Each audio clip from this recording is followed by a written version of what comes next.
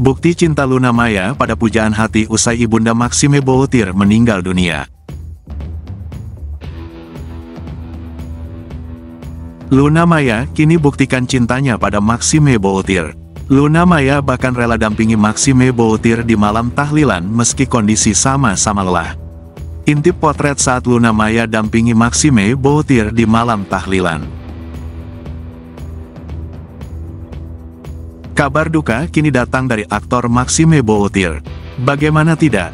Ibunda Maxime Boutir, Siti Purwanti meninggal dunia pada Minggu, tanggal 14 Januari tahun 2024. Melansir dari Kompas.com, Ibu Maxime menghembuskan napas terakhirnya di kediaman Luna Maya, demikian disampaikan oleh Purwadi, yang merupakan paman Maxime.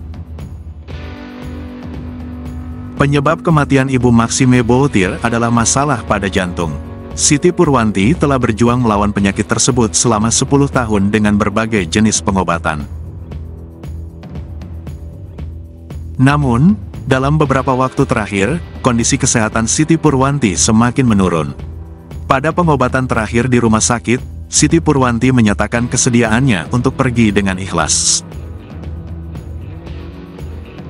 Maxime Boutir dan Luna Maya turut serta dalam mengantar ibunda mereka ke tempat peristirahatan terakhirnya.